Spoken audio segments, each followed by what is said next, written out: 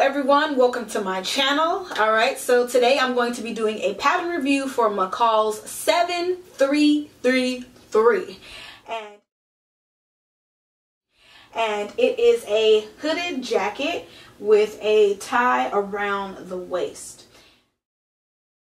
All right so the sizing for this pattern it starts at a size 6 and it goes to a size 26 now for me for myself i went ahead and cut out the size 8 slightly just very slightly because I did make modifications but overall it does. The hood looks exactly how it did in the picture uh, the cut also looks like it did in the picture. So other than the modifications that I made I think that your finished result will look like the pictures uh, provided on on the pattern The instructions were straightforward and easy to follow. Um, one thing, um, one thing that might be a little bit tricky if you're new to using patterns was how to attach um, the facing of the hood to the jacket. So when you are attaching uh, right along the neck area, that part might be a little bit fuzzy if you're or unclear if you're new to sewing. Part might be a little bit tricky because it calls for you to slip stitch. And if you're new to sewing that might be a little bit of challenge but just go ahead and push yourself. It's okay. It's you know but I wouldn't derail that or tell you not to sew it because of that. It'll just help you to develop and grow and get a new skill for yourself. So even though that part might be challenging, you'll learn and grow if you make a mistake and then you have extra tools added onto your sewing skills. Um, other than that, it wasn't unclear. Um, it was pretty, the, the instructions were pretty straightforward. And if you don't understand like a certain part in instructions, one thing that I do and still do now is I'll just Google the word and see what it is that they're saying or try to find a video or I just try it out and if I mess up, whip out that handy dandy uh, seam ripper, rip that thing out, rip that seam out and just try it again. That's all you can do. The thing that I love about this pattern is um, kind of like it's kind of I guess it's a high-low effect but I love how the front of the dress um, is cut. One thing that I did not like was how that it called for how it called for you to use like a different type of string for how it called for you to use a different type of string. So what I did instead was that um, I just used fabric to make the strings because I didn't like the look of using something other than the fabric. Like I tried to, I think, I forget what it actually called for you to use um, to make the, the ties, but I tried that and I did not like it. So I opted to just use some of the scrap fabric that was left over and just like how you would make a spaghetti strap or tube, that's exactly what I did to um, make the ties for the jacket for this jacket, I went ahead and used a Kente print. This one is very lightweight, um, lighter than the other Kente prints that I usually buy. At first when I bought it I was a little bit disappointed because how lightweight it was.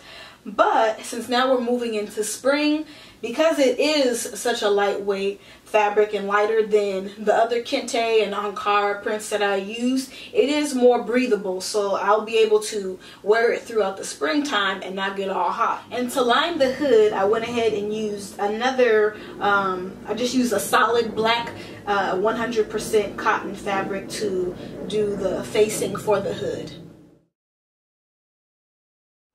Alright, so for these pattern alterations, just hang in there with me because I had a vision for what I wanted the jacket to look like. So I just went ahead and put my own twist on it.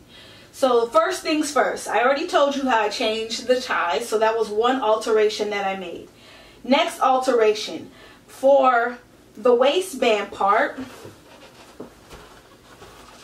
there is right around the waist, it calls for um, a piece of elastic that will go around the whole waist. But instead of doing it around the instead of doing it around the entire waist, I just put it in the back because I have this denim jacket and I was kind of trying to use this pattern to emulate that denim jacket that I have.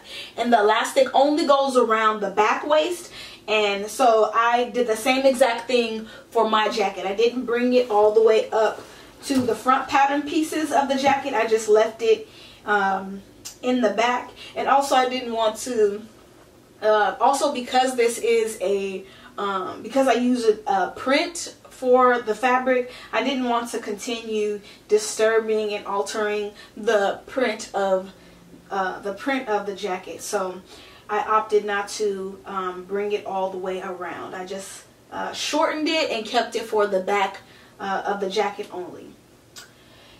Next alteration that I made was for the sleeve. So I went ahead and lengthened the sleeve about 10 inches. And then for uh, the cuff of the sleeve, I went ahead and used the elastic. Same elastic from the waistband. I think it calls, yeah, it calls for one and one fourth of an inch. And since I didn't bring the elastic all the way to the front of the jacket, I had some elastic left over. So what I did was I used it, I turned the sleeves up um, an inch and a half and then uh, created a casing and inserted the elastic into the sleeve. Alright, will I make this jacket again? Yes. Um, I like having patterns in a solid and using a printed fabric. So I do plan to make this jacket one more time using a solid color and maybe I'll make it in a print again. I just like the casualness of the jacket. I like that it has a hood. Um, because of the way that I did the sleeve with it having the elastic I can pull it up. Or if it starts to get a little bit warm or I can let it uh, um, or I can just you know move it down if I'm a little bit colder. So I do plan to make this jacket again. The hood is um, the hood is nicely sized uh, especially to fit over especially I have all this these goddess locks that I have now so I can still fit this hood over my goddess locks. And yeah so I will be making this McCall's pattern M7333 one more time or maybe two more times all right everyone so this concludes the pattern review for McCall's M733 go ahead and give this video a thumbs up and let me know down below if you have any questions or just say hey I love this video. Please keep doing video pattern reviews because I like and enjoy watching them. All right until next time